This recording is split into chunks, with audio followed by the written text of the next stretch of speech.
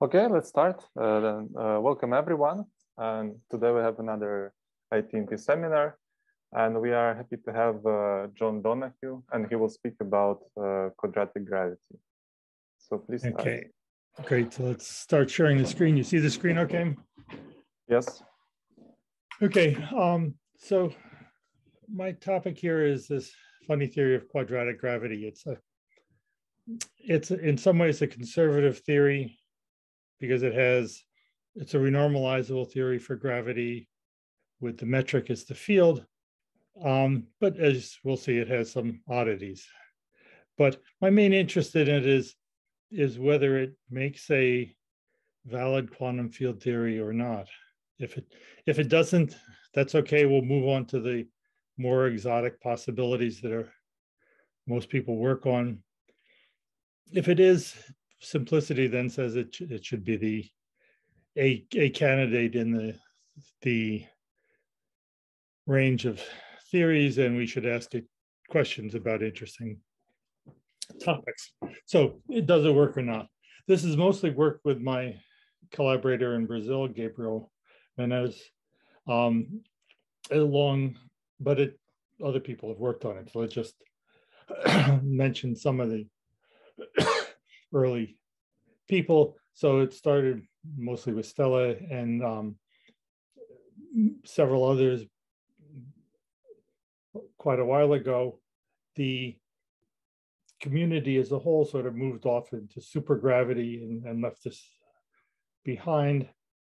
There's been activity in more recent times by a set of people. So there's a sub little subfield working on it um, and other people who do things that are similar enough.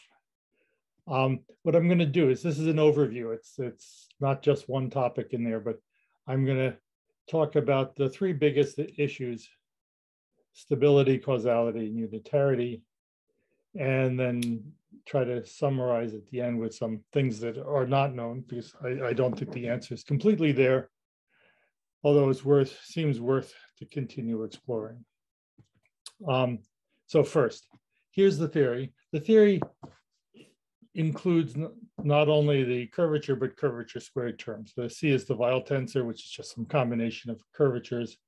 Um, and since the curvatures go like two derivatives, curvature squareds go like four, and the extra powers of momentum in the propagators then tame the UV behavior and make it renormalizable you can sort of see that because the the curvature squared terms have dimensionless coefficients. If you they govern the UV behavior. If you do loops with them using dimensional regularization, there's no dimensions around to give anything else but them back again, so you get the same curvatures back again. Um, it can be weakly coupled if those parameters are small. And so it's it, it's a thing, a theory that seems like it's worth exploring. The bad news is tied to the same feature that is that's the good news.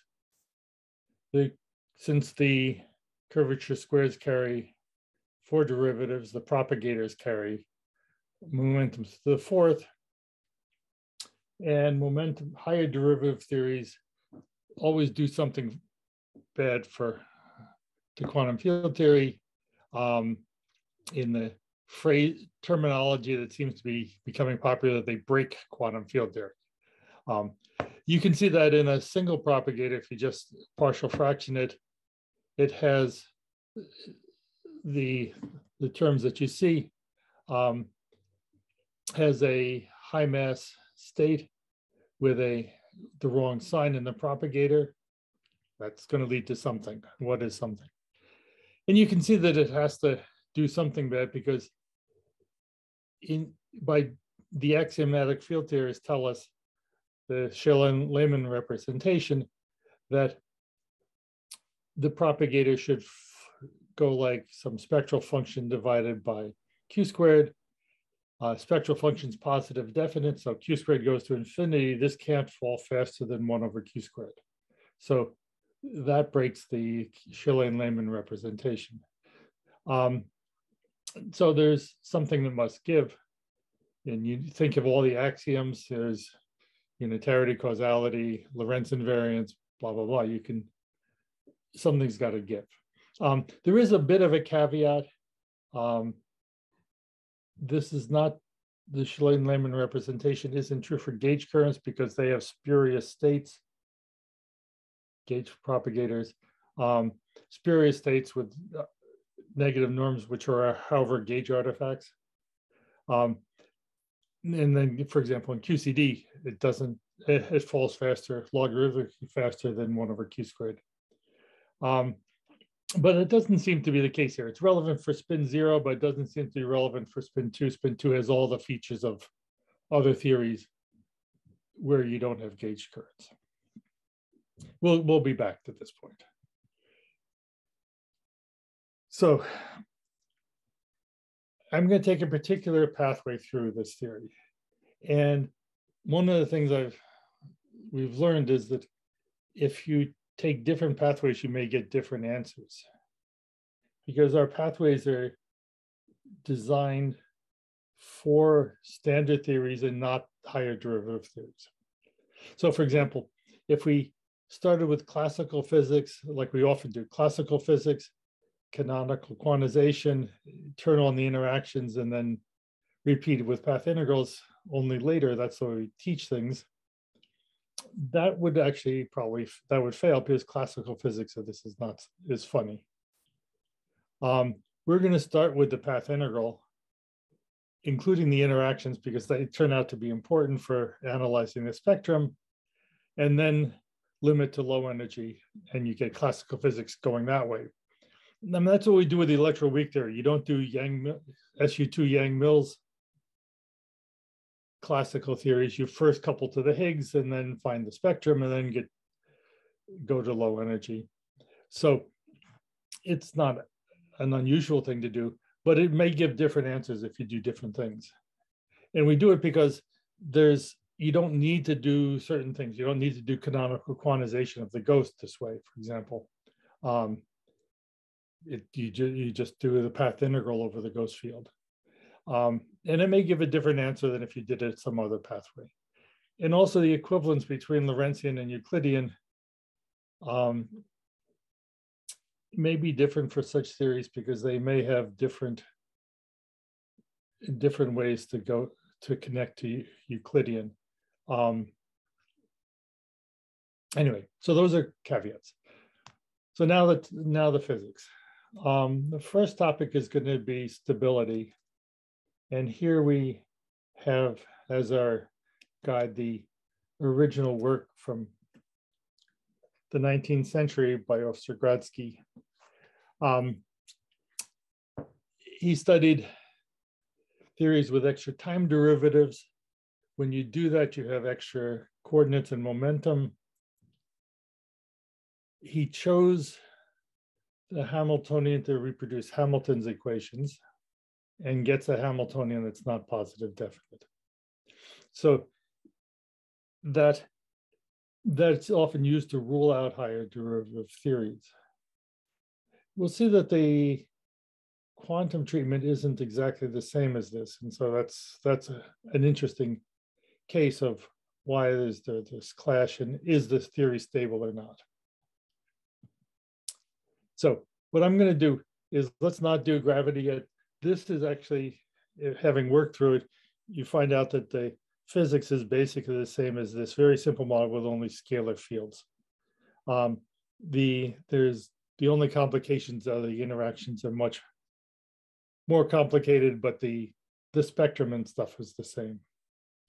So here's my simple theory that's supposed to mimic up a higher derivative theory.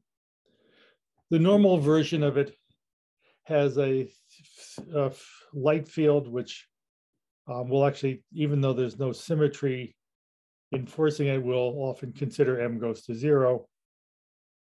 Um, this is like the photon or the graviton, the scalar field phi. There's then a matter field that's going to be massive and couple up to the the light field with a Yukawa-like coupling. So you think of the um, chi like an electron or a massive particle and phi like the photon or graviton. Eh, one phi exchange then gives you the Newtonian or Coulomb potentials, et cetera, blah, blah, blah. Um, this is then, this, as I have written it here, it's just a normal theory. But then we fancy it up. We take that simple, pretty little theory and make it dangerous by adding higher derivatives. The higher derivatives live only in the phi sector. And I think of this as this M is like the Planck mass, something beyond where we've done experiments, but um, it's in the theory. Now, if you treated this as an effective field theory, we know how to do that with this being treated as a perturbation there's nothing special that goes on about that. It's just a perturbation. Um, if we treat it as a fundamental theory, Ostrogradsky says it's unstable even at low energies. And our question is, is that true? Is it is there a classical limit? Is it stable at low energies? Stable at high energies? And since this is not a gauge theory, what, what's the field theory principle that fails when we analyze a theory like this? Okay, so let's let's treat it. The I'm going to, as I said, use the path integral to define the theory. So it's this higher derivative Lagrangian, and I'm going to have the coupling to the to the matter field in to the electron. And I'm going to analyze that this path integral. This is the one that should should be un, unstable if Ostrogradsky's right. Um, so I'm going to do a couple manipulations. I'm going to first use an auxiliary field to remove the higher derivative term. So the original Lagrangian is the same as this Lagrangian here where I've I've used this auxiliary field eta, um, which when you integrate out eta, you get back the original four derivative term. Simple to do. Um, so that's exactly the same path integral. And now I redefine variables. I take phi and call it A like the photon minus eta and if I make that change in this original, this Lagrangian, I, I totally separate the Lagrangians out. I get the photon one, if you want a massless field with a coupling to the matter. And I have a massive field with coupling to matter, um, which is the eta. And now the remnant of that higher derivative sits in this overall minus sign right there. You can't get rid of that. That's what we saw when we partial fractioned the propagator, that's the minus sign that gives a funny propagator. Okay, but as far as this analysis goes, I'm just now putting this back in the path integral. I have the usual path integral for a massless field, and I have a, a slightly unusual path integral for this heavy field, where instead of plus i, I have minus i. So it's just, but this is really it's just still a Gaussian integral. It's the complex conjugate of, of a usual path integral. So it's actually easy to do. It's just, you do the path integral, um, usual path integral and complex conjugated. Um, if I do it, I'm, I'm doing it not by analytic continuation, but by adding a little convergence factor um, I, I shift the field, I do the Gaussian integral, and I get a propagator. I'm calling it the Feynman propagator with a minus sign there just because it had the minus sign overall. And it has this feature. There's a minus sign up here, which is the minus sign we saw before in that partial fractioning. And then instead of plus i epsilon, which is usually occurs in my, my metric, I have a minus i epsilon there. So is not surprising. This is just the complex conjugate of, of the usual propagator. You complex conjugate you get that, and you get that changing sign. It results in a Gaussian integral, which is this. At low energy, that becomes a contact interaction. This becomes just one over m squared. And you shift the, the chi to the fourth integration by a small amount. This is, the, remember, this is the Planck mass. Uh, G is dimensionful in this case, but um, this this then is a very very tiny shift in the the quartic interaction but it's it's then limits to a particularly simple and normal theory it's it's basically the original theory with just a small shift due to the massive state buried in the value of lambda there's no sign of the instability. It has a normal classical limit. Um, so Ostrogradsky hasn't been seen in this calculation. Um, let me just do high energy quickly. Then we're going to do high energy again in more detail, but let's just do it. So at high energy, if you if you go back to the original basis and calculate, you basically, all you're doing is adding a the vacuum uh, imaginary part into the vacuum polarization. And that's going to be an important feature. When you do that and follow it through, you find that the, the propagator near the massive state is again, it's, it's the complex conjugate of the previous one. And um, so there's a minus I gamma here. We're normally in the um, treatments, we'd have plus I gamma there. So again, we're going to come back to that. My point here is actually that that doing it this way, you you see that you need positive energy to produce the state. It's it's a resonance. It looks like a Breit Wigner res resonance with um, that where positive energy has to flow in to produce it. So we we see this as a positive energy resonance. It's a bit funny, but it's still positive energy. So what what would Ostrogradsky say about this theory? Um, so Ostrogradsky uh, notes correctly that you need extra canonical coordinates. We've used this as A and eta, those two fields that we ended up with. Each, his treatment chooses phi and phi dot as the two coordinates. The momentum conjugate to them are then calculated by standard techniques. He forms the Hamiltonian by usual pi phi dot minus L. Um, the slight complication that you remove phi double dot by the coordinates and momentum, since that's that's neither a coordinate nor a momentum by itself. I'm sorry.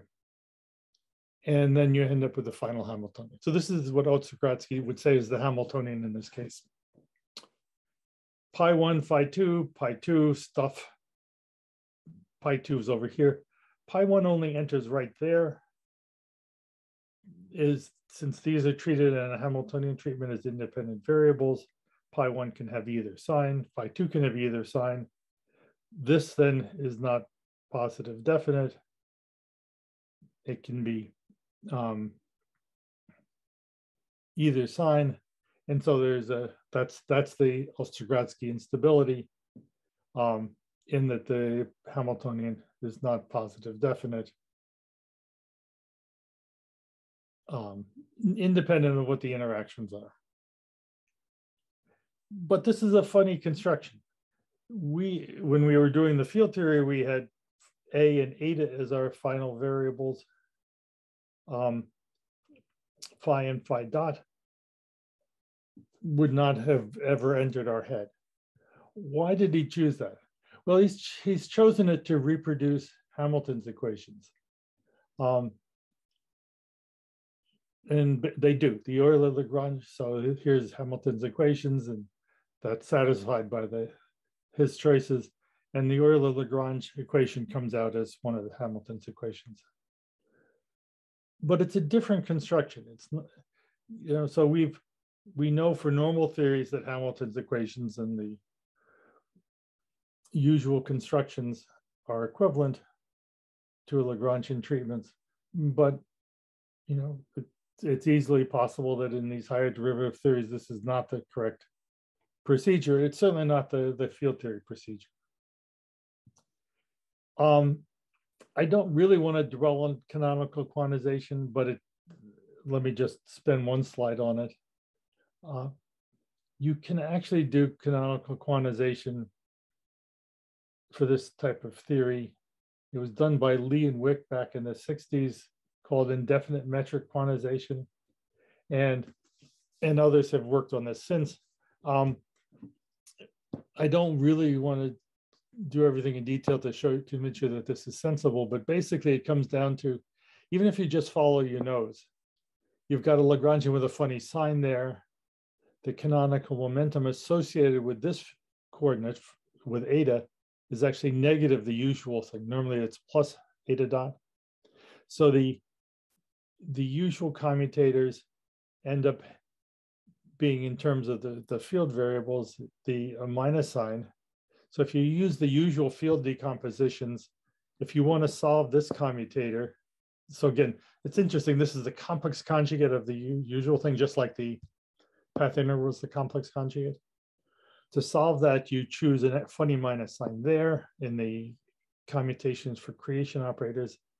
And then the Hamiltonian, which follows from that, which does have an extra minus sign, of course, um, actually gives positive energies when acting on states because these commutators, when you act on a state, um, pick up a minus sign.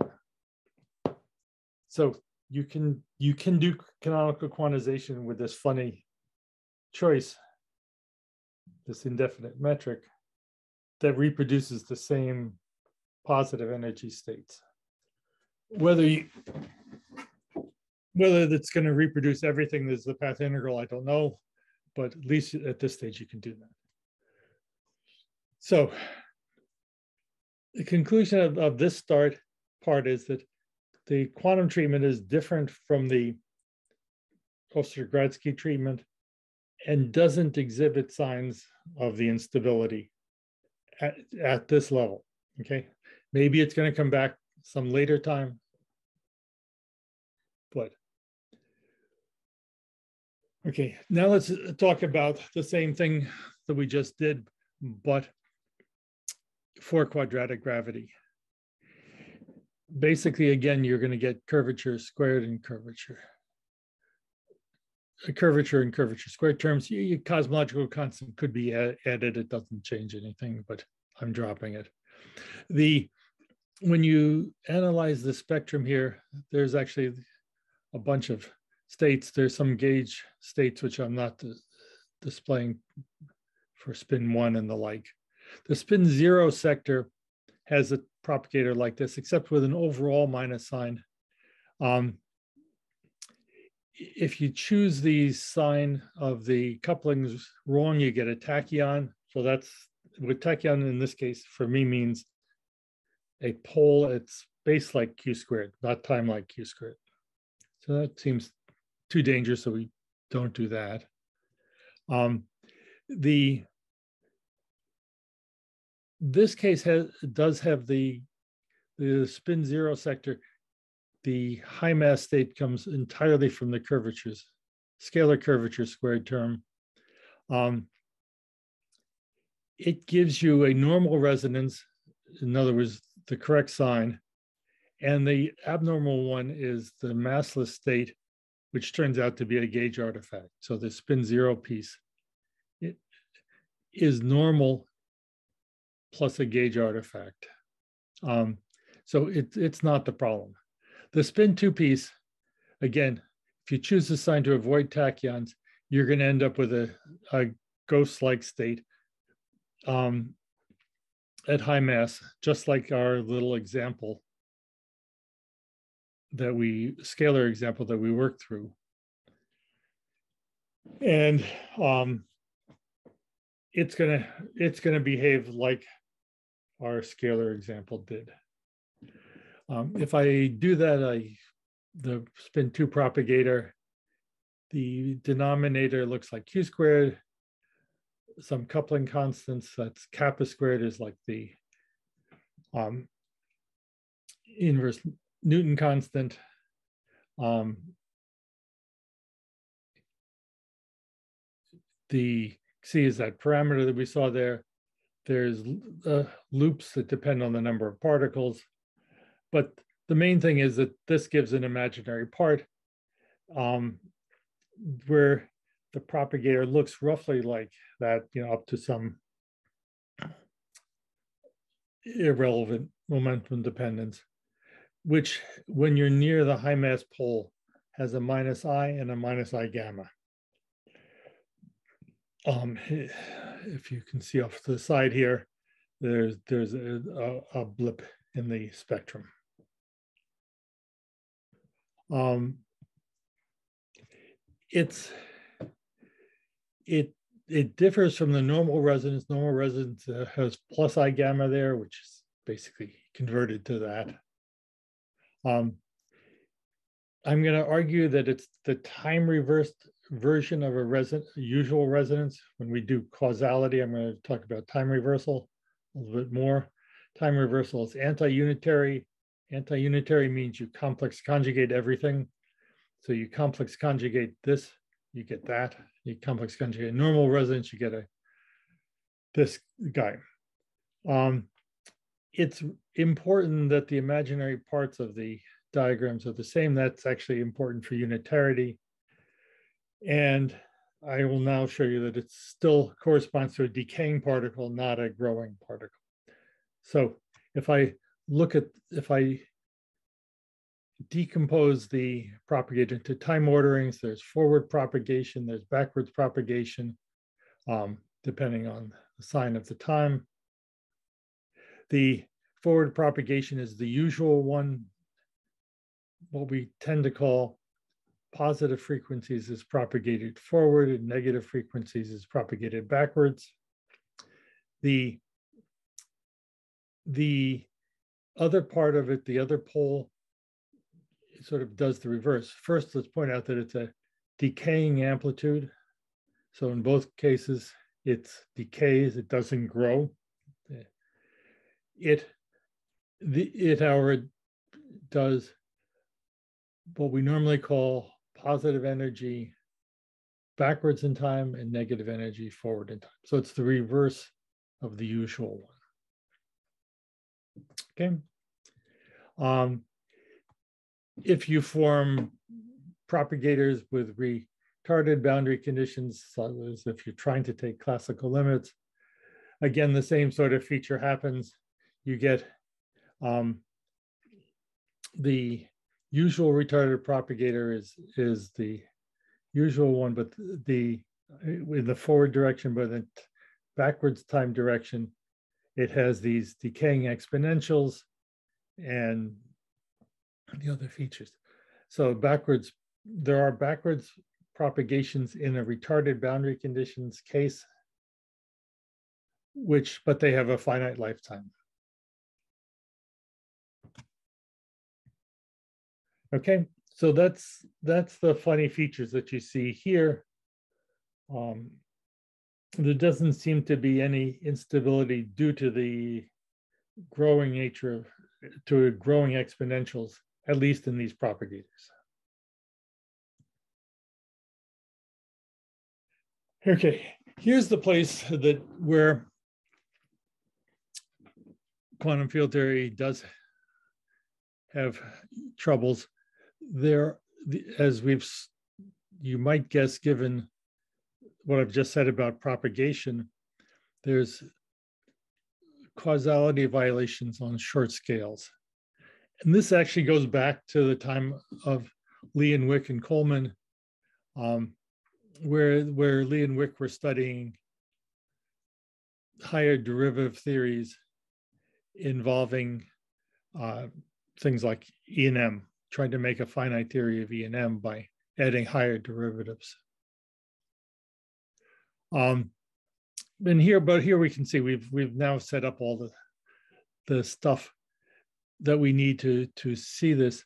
We're going to see that the causality there's something which I will call an arrow of causality, which is different for the normal fields and for this unstable ghost. So first of all, causality isn't in field theory cause before effect. When we do that time decomposition of a propagator, there is backwards propagation that occurs. And that's that's important that the there's forward propagation for positive energy and backward propagation with negative energy and the the that backward propagation is important to enforce important causality conditions but it's not cause before effect it's just a, a very special combination of of um, forward and backward propagation the you don't see this because uh, the uncertainty principle shields it. it. It propagates backwards for times that are of order that the energy differences, you can't resolve that. But nevertheless, that's what the usual thing is. We when when we discuss causality in field theory, we make the special the the condition being that operators commute for space-like separation, and for fields commuting, the propagation that I just talked about is important. Um, so the causality is, is generally described by the commutations of field operators vanishing if they're space-like separated. However, there is an additional feature of causality that um, I don't know why what happened here um, that that's important. What is it that determines the past light cone and the future light cone? The the um, that's that's a feature of the causality too. And all particles have to share that to have a causal theory because if you produce some that have one directionality and others that have another, then you'll violate causality. It, and you, if you trace it back, it comes from the I epsilons. The basic principle is that there are states are positive energy. Um, the I epsilon determines that positive energies propagate forward in time. And so that's that's where the, the directionality comes. What if what uh, I did this before, but let's just do it again. Let's use um, we see where that that comes from. Um, so I did before I did when I did the propagate the path integral over the ghost, I was using the the action with a funny minus sign. Here, let's just do it again. Generating functions with either sign. Um, I make it better defined by adding a small convergence factor, sorry. Um, I get, I get either the usual Feynman propagator or the complex conjugated version of one, because again, this is the only, only I in the theory at the start. I'm taking the complex conjugate to go from one sign to the other when you end up is the time reverse propagator, it propagates positive energy backwards in time. And so the the poles in this are governed by the, the signs of the I epsilon, give you a different arrow of causality. This actually has implications for even philosophic treatments of of the arrow of time. Typically, people who are worried about the arrow of time say that the laws of physics don't distinguish between the past and the future. It's not correct. The laws of quantum physics have an arrow. That arrow is determined by the factors of I in the quantization procedure, either in the commutation rules or in the path integral. And that those choices determine your arrow of time. We, by convention, use the one with the e to the is as our quantization. Here we run into trouble. We've got fields with dueling arrows of, of causality. Usual propagator, the massless part of the graviton propagator goes with the usual one. The massive one goes with the opposite. And who wins that battle?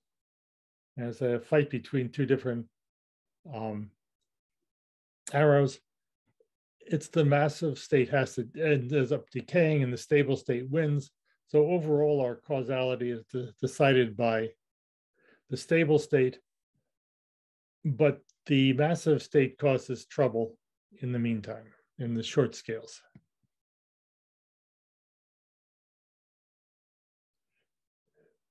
There is some phenomenology of this, which I don't think I'll go go through. You, if you were looking for it, you would look for funny vertex displacements, early arrivals, um, resonances that propagate backwards on the Argand diagram. These, these are all buried if I'm applying this to gravity because they're roughly of the Planck scale, parametrically of the Planck scale. And so they don't provide any conflict with experiment. The question remains only whether they make the theory so badly defined that it makes the theory impossible. We haven't seen that. Um, you might you think that that it basically just becomes a causality and uncertainty, and I think that's the right answer is. Um, but you might think that a causal uncertainty is going to be a general property of quantum gravity. Anyhow, things will be un, uncertain because space-time fluctuates at the at the Planck scale. So this may not be anything particularly terrible for gravity theory. Okay, so that's two of my three main topics. I did stability. It seems to pass the stability test. I've done causality. It fails causality test, but only at the Planck scale. The other, the other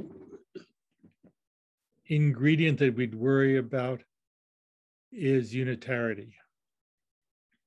Now, and if I were presenting this in a different order, I would particularly worry about unitarity because I might not know what to, how to do a unitarity sum with ghosts in here.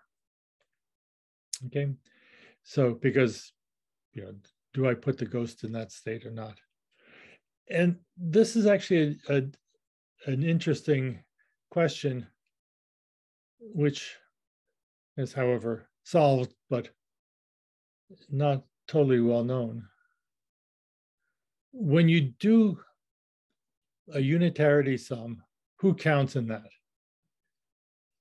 The foundations of S matrix theory have the, all these states being asymptotic states, so states at asymptotic infinity.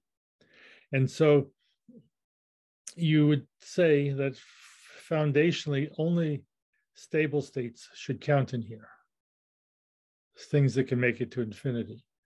Yet you know that if you're doing a calculation, let's say with W's, W's are unstable, you often would put them in the unitarity sum when you're doing some unitarity relation. So who who counts? Do you know when we when we do free field quantization, we'd put everybody in here. Then you turn on interactions and some states become unstable and you take them out of here. Um, anyway, Veltman addressed this early on. And the, the correct answer is that only stable states go here. So the correct answer for W's is you only put the decay products in, you only put electrons and neutrinos in those states in, in the unitarity sum because they form the asymptotic Hilbert space. You don't, you, in principle, you don't make cuts on unstable resonances like the W or, or even the pion. But of course, that seems a bit funny. Um, you seem like you're removing states from the theory when you turn interactions on. And we also know that some states are almost stable, like pions. You treat them as stable and you're, you're not making a bad approximation. This is a narrow width approximation. But Veltman is in fact correct. And we'll see that the narrow width approximation is justified when the width is small. But nevertheless, the correct answer is you only put the asymptotic particles in here. This is going to be a relevant thing, a relevant thing, not in the case of the unstable ghosts, they don't actually appear in their unitarity relation, just their decay products. If their decay products are normal, then we end up satisfying unitarity in the usual way. So let's see. So first the advertisement, which I'm not going to do it this way. Um, with Gabriel, we took Veltman's pathway and did exactly what Veltman did, which is a very painful way of doing it. There's circling rules and largest time equations, and you get Cutkosky's cutting rules out of this. Um, nevertheless, it's it's it's a rigorous way to treat this and we we followed that and there is some difference when you have these unstable states with energy flows um, but nevertheless the proof goes through um, unchanged and it, what, what was important in it is that we didn't have to do any analytic continuation everything is done in minkowski space um, here's here's how th this works. I'll give do some examples. Um, and you can then see that it's going to work for these heavy particles. Um, with funny rules. The basically when you calculate the discontinuity, you put all the intermediate states on shell. You also, on the far side of the cut, you use the complex conjugation, conjugate of the usual propagator. So this, the usual propagator on the far side of the cut, if, if there's a piece over there, you use the complex conjugate. Now there's several, many textbooks actually don't mention that part of the rule, um, but nevertheless, it's correct. Um, in this case, it's you, you just cut the propagators, you get that the discontinuity is like the two-body decay width with some factor.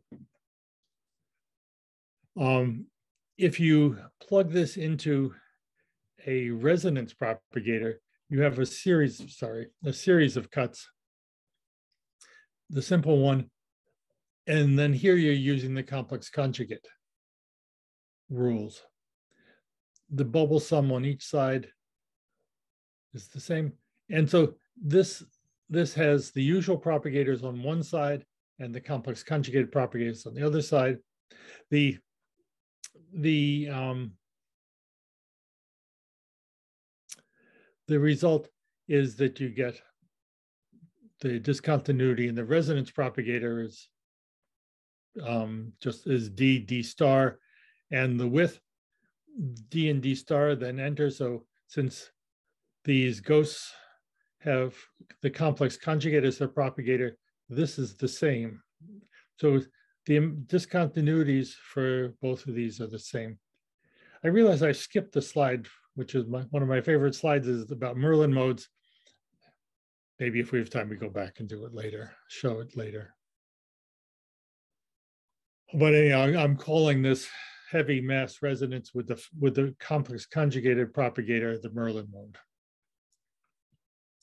Um, May I ask a question? Just Sure. uh, yes, okay, yes, I should have asked it earlier, maybe. Um, so the ghosts in principle interact also with normal matter. that's right. If they're unstable, that may cause the vacuum being unstable. Uh, is that a problem? Because I, I remember there were discussions in the cosmological context of having some ghost um, particles, which uh, at the end looks like they lead to a very short-lived universe because of that instability. Right. Yeah, so vacuum- th- this instability, at least near Minkowski, is not is is not is not an instability. If you chose the coupling constants to have the opposite sign, then there'd be a tachyon instability, and I suspect that that's what happened. Hmm. Um, the the signs of these terms have been used have have have been uh, employed in the literature in, in with both signs. One sign leans to tachyons, which is definitely going to cause these troubles. The other sign leads to this unstable positive energy states, which seems not to at least near Minkowski. Okay, no, but I I I I, think I, I had in mind really instability of not a tachyonic one, but the ghost decaying into a, something else, Yeah, leading and interacting with normal matter, leading not not just the gravitons, but yeah, something else, leading to instability of the vacuum of the whole theory. yeah, But maybe the sorry, maybe that's not really. yeah. I think I think it's not Oh. happening here, um, at least near Minkowski. So one of the things I'm going to say later on is the stability far from Minkowski is not known. Okay. Okay. Um, I'm doing it, and other people have done it, small perturbations from Minkowski. Um, this seems in all the cases to be stable. At large scales, I don't know the answer. And I mean, that could be a potential flaw. Anyhow, I'll, I'll, I'll, mention stability again for that part.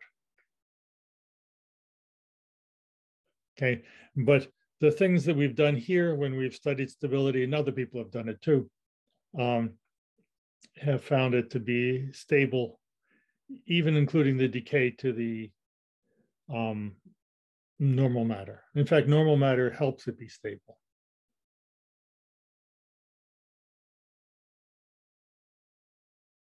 Okay, Okay, thank you. Yeah. okay. Okay,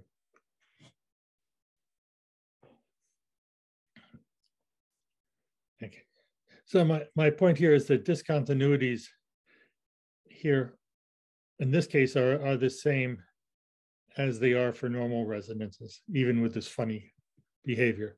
And it, it holds true also for three particle cuts. I don't, don't think I need to take you through this. The discontinuities here um, come from the cuts in the on the stable particles and they're related to the width of the particle.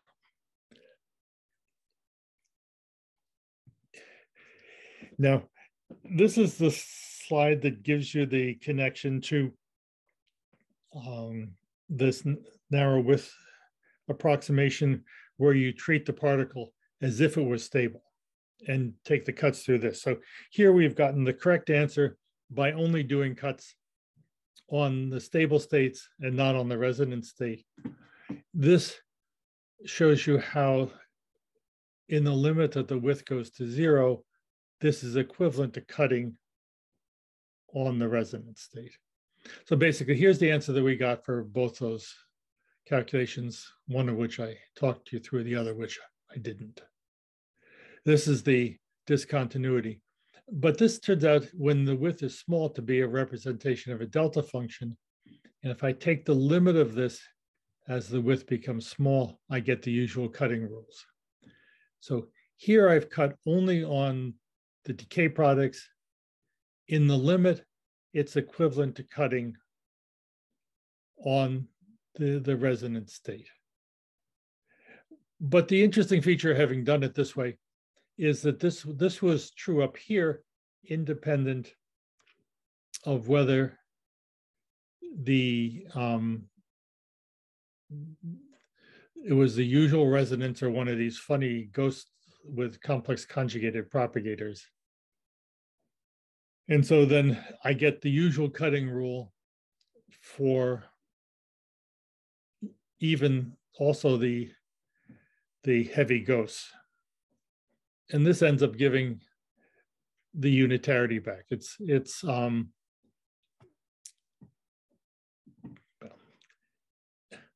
the this is the heuristic proof of unitarity. It's it's not what we what we did is go through Veltman's proof and generalize it, but basically unitarity works for stable particles as external states.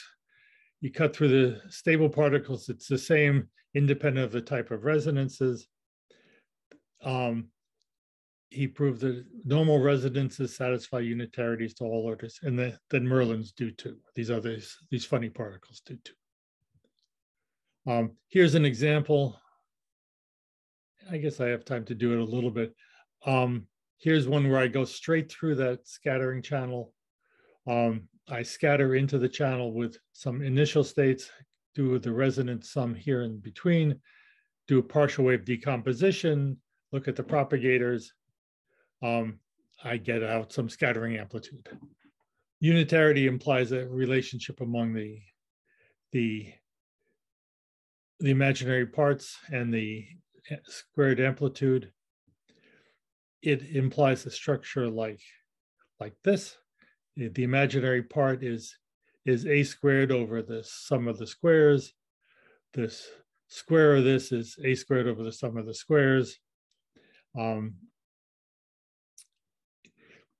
the calculation that I just did ends up having exactly that structure. So it satisfies unitarity despite the, despite the fact that it goes right through this pole that seems to have the wrong sign.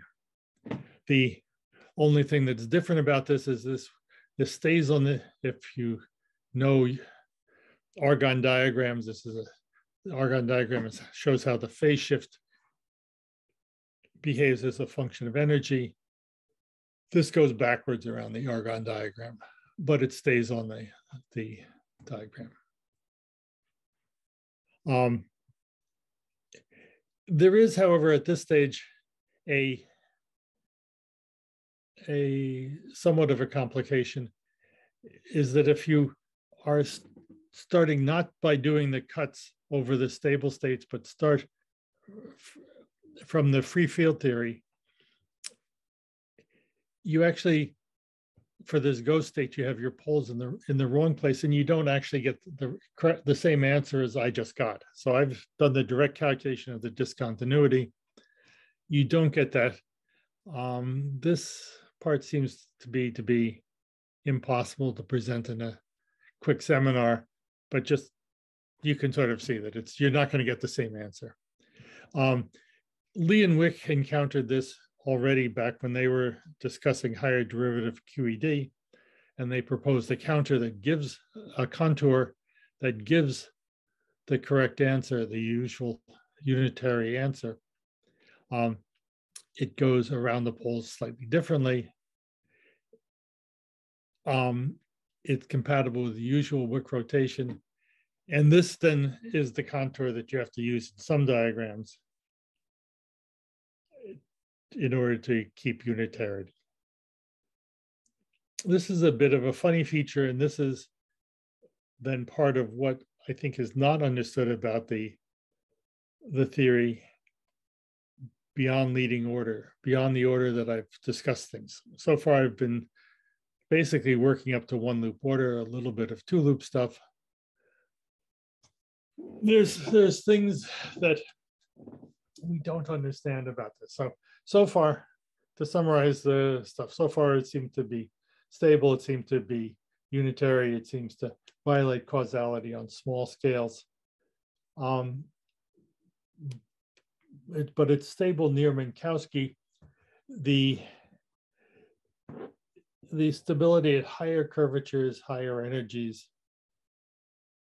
is, well, at higher curvatures anyhow, where the curvatures are close to the high mass pole are not understood at all at this stage. Um, so it there could be more instabilities there. If it's insta unstable, that could still be okay. I mean, you could view inflation as an instability because it's an exponential growth, but it ends up in a benign final state.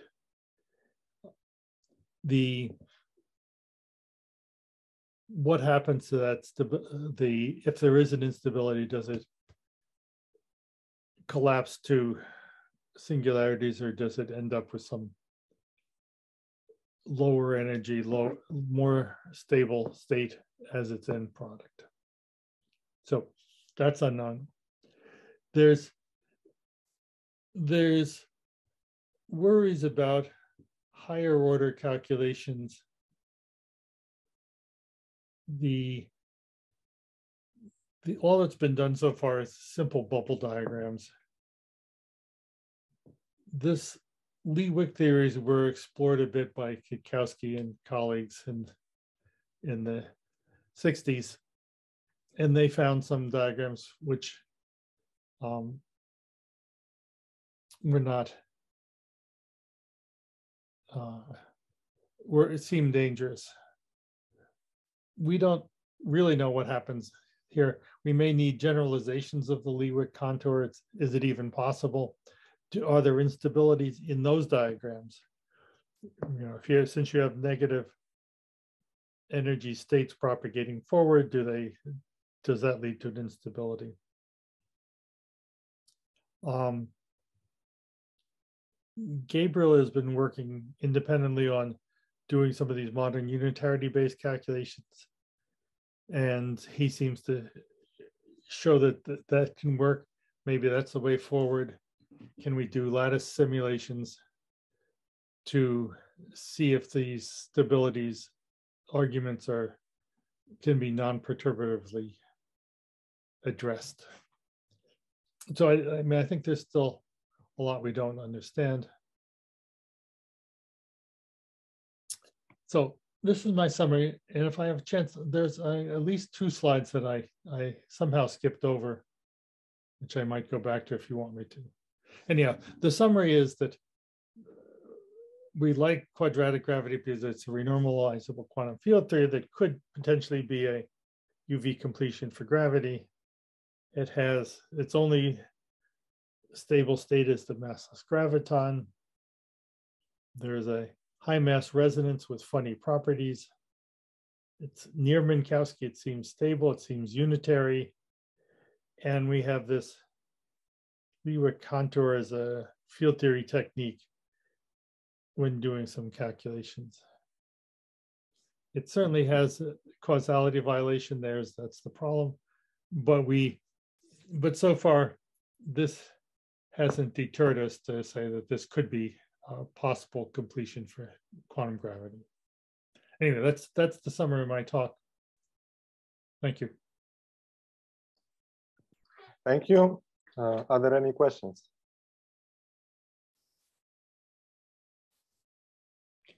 So maybe these two slides you can show us before. Yeah. So let's see where, where, where they where they disappeared. One is sort of a this yeah. So uh, where's I want to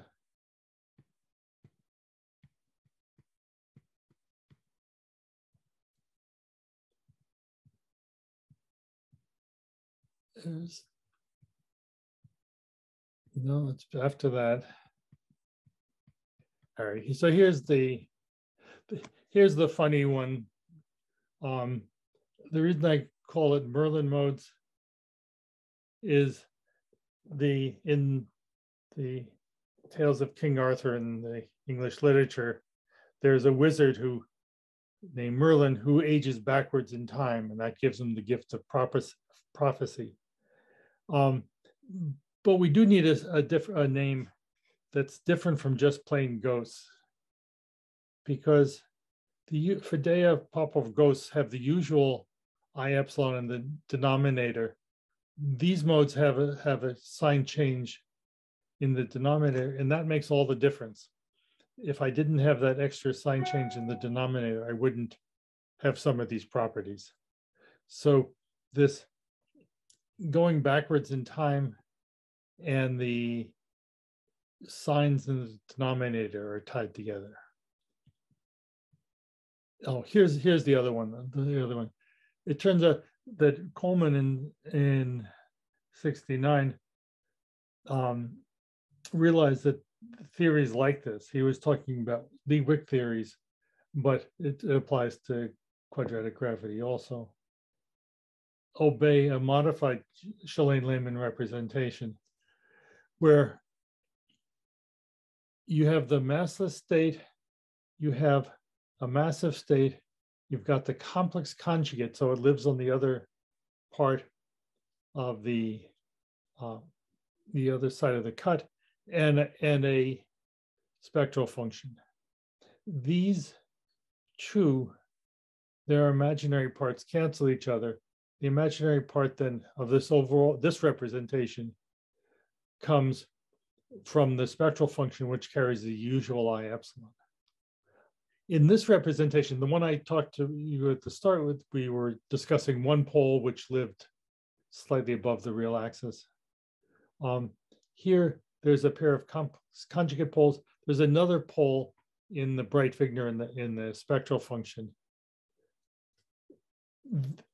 So you can have either one pole or three poles in your representation, depending how you want to to do it. This, in fact, is a an exact statement for the for gravity, for quadratic gravity. Um, much of the old literature neglects the fact that there's a pole in the spectral function and just talks about the complex conjugate pole. As far as I know, Grinstein, O'Connell, and Wise were the first to point out that the, the spectral function pole is crucial.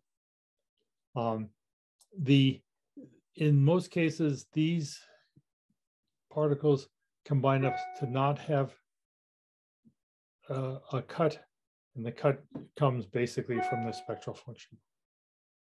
So this is a, an interesting technical feature. Okay, that was those were the two slides that somehow I missed.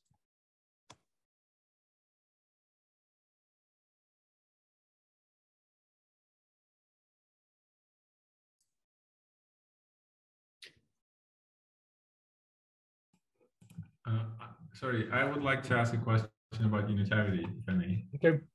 Um, so uh, back when you were showing that uh, you, you're supposed to only uh, only cut stable particles, uh, yes. you were also mentioning that we tend to uh, cut unstable as well. So yes. is it? But then, if the result is the same, does it mean that um, just the sum of all cuts of unstable particles needs to vanish or do we get any double counting if we do it?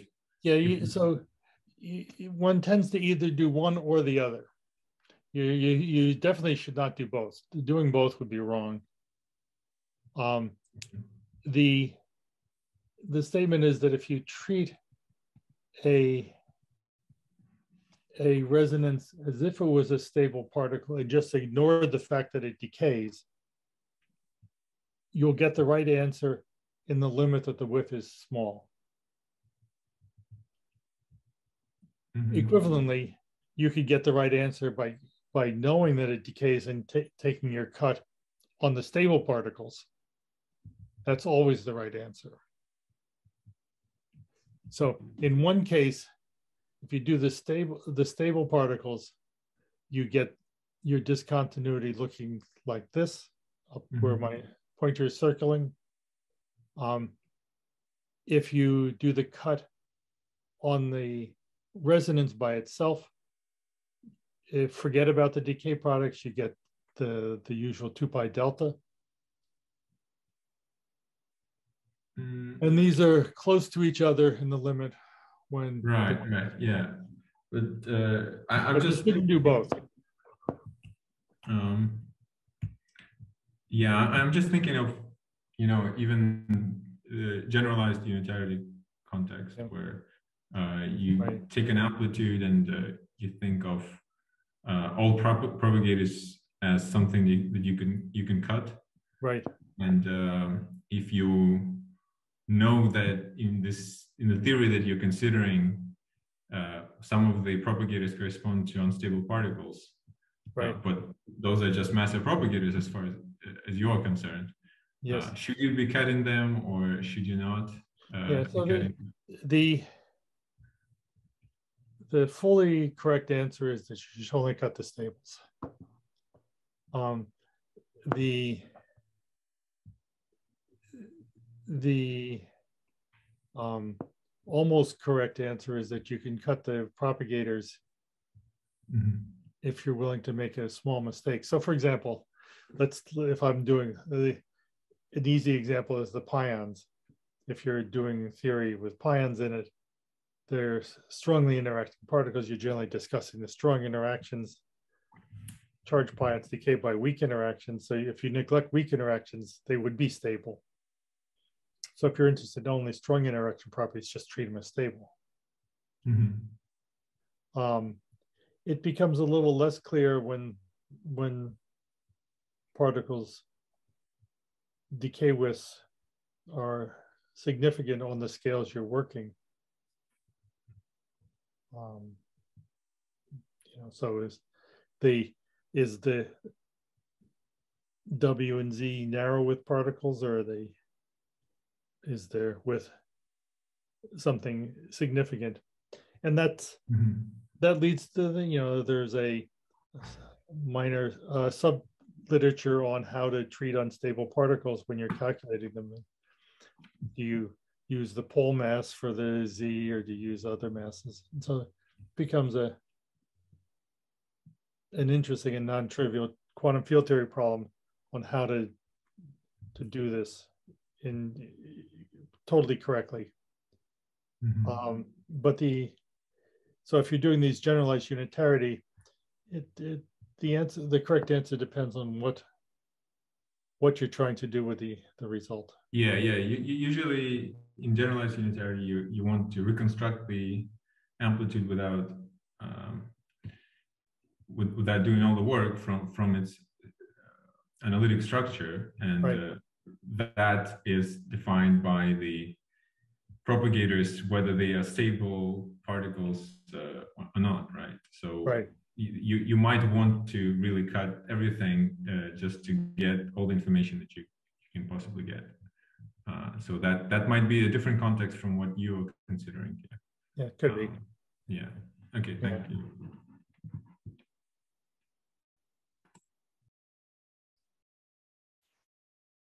Other questions? I have a question, but maybe somebody else wants to ask. Yeah, I don't know. Uh, maybe you could repeat the argument why the argument of Ostrogradsky is kind of is not valid. So you said that it's not may not be equivalent to the original dynamics. or- Right. So so I mean I- think at its at its heart, um it comes down to the fact that Ostrogradsky was using a particular set of coordinates to enforce Hamilton's equations. Quantum field theory doesn't doesn't really use that.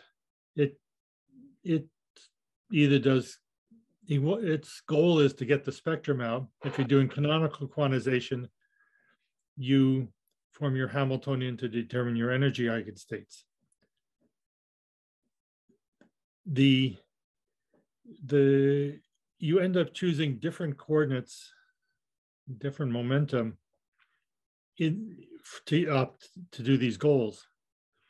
The the path integral treatment is is slightly different, but also is closer to canonical quantization.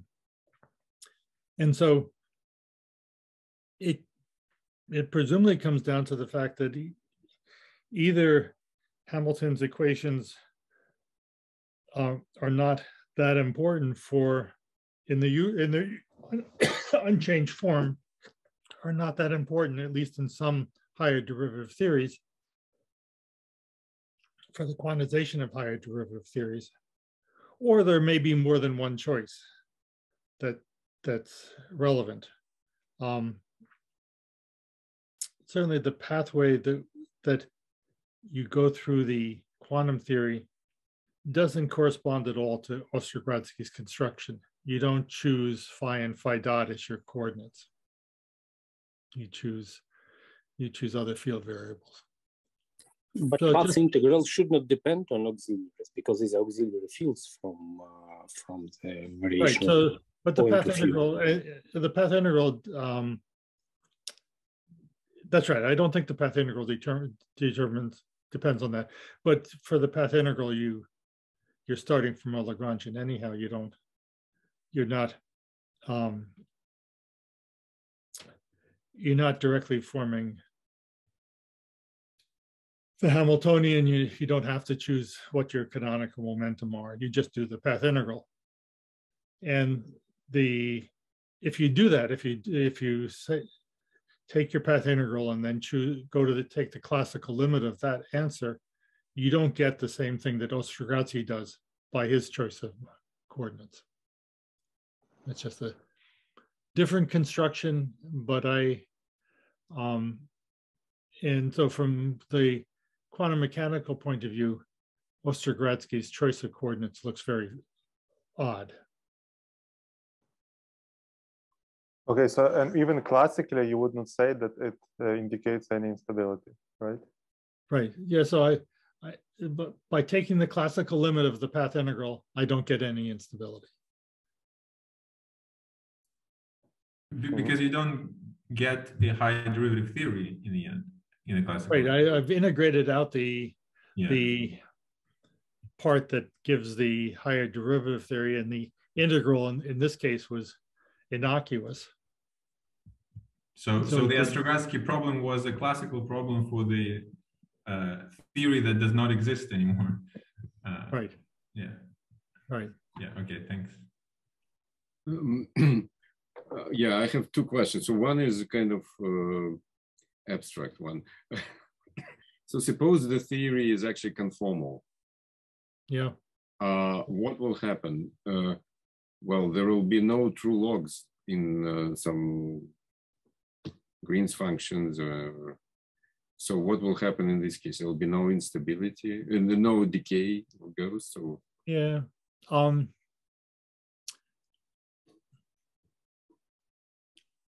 yeah, so, but of course, you're gonna end, so if I was trying to make this conformal, I would only keep the Weyl squared term and drop, drop the other two terms in this action. Um, I would still end up with a conformal anomaly. Yeah. No, but I had in mind uh, not gravity, say, just uh, some high derivative theory scalar, Yeah, but making it kind of conformal in some way. yeah. Um, Yeah, and so I guess like, well, I don't, I, I won't be able to answer it really, but the question is whether, whether there is an anomaly or whether it remains conformal at the loop Hmm. level. uh, yeah, the second question is uh, kind of more practical. So if we don't, if we, if we don't trust this uh, classical theory, so we don't, we're not going to look for black hole solutions, compare them with Einstein theory. Uh, what actually we are going to compare to any observations? So Yeah. say S matrix for gravitons or Yeah, so uh, clearly the field theory techniques are best developed for scattering problems. And so, yes, we would, the first things you would do are trying to do S matrix theories. Um, you know, it's possible that that one should could do a quantum corrected effective action and look for solutions to the quantum corrected effective action. It would be non-local. Um, but you could imagine trying that anyhow. Um, that it's certainly where I would, if I was trying to do something for solutions, usual gravitational type solutions, I would try doing a non-local one loop effective action, including some of these these logs that that I've discussed. And look to see if I can make statements about classical solutions of that theory. I mean, there's indications that that the equations of motion aren't aren't unstable. There's people like Bob Holdom and Kelly Stelle and collaborators. And also there's a recent paper by, unfortunately, I'm forgetting the names, um, have looked at classical solutions and they seem themselves to just as solutions to not be unstable. Uh, they differ at higher curvatures from general relativity solutions. So things that limit to Schwarzschild black holes at large masses have either two horizons or no horizons at lower scales. I, yeah, but I guess it's it boils down to boundary conditions or initial conditions. If you can try to sort of eliminate unstable options. Uh, It'd be nice. I mean, it, would be nice to. There have been solutions that are non-singular at the origin that look like Schwarzschild at large scales. Um, they're they are not the what I advocated the one loop effective actions. They're just the usual classical action. But you do what you can. You know, at this stage, it's hard to solve the one loop effective actions and find solutions to them because they're non-local. It's a that's a bear of a problem. You do what you can do.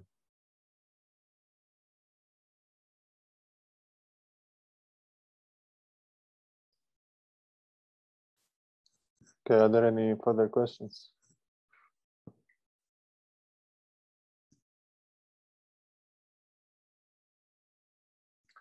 Okay, if no, then thank you again for a nice talk. Uh, thank, thank you for the opportunity. Yeah, thank, thank you everyone for coming.